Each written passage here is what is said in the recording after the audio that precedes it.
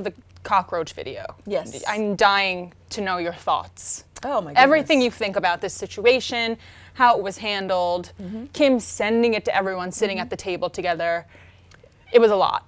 I do not like the cockroach situation. I do not think it's appropriate to go in anyone's home and video anything in their house, especially something that is going to be used to try to like embarrass them at some point. I just think that that is completely inappropriate. I would never do that.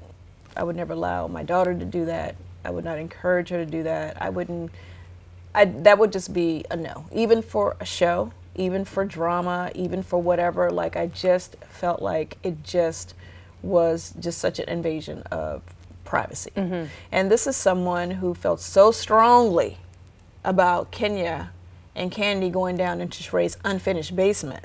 You Right. know what I'm saying? So mm-hmm. you can't be like, who does that? How do you go to someone's space that you're not supposed to be in?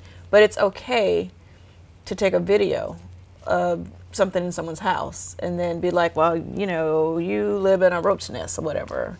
So it's either right is right and wrong is wrong. And I think that that didn't have to, I just feel like it didn't have to happen. I never, I would have never done that. So.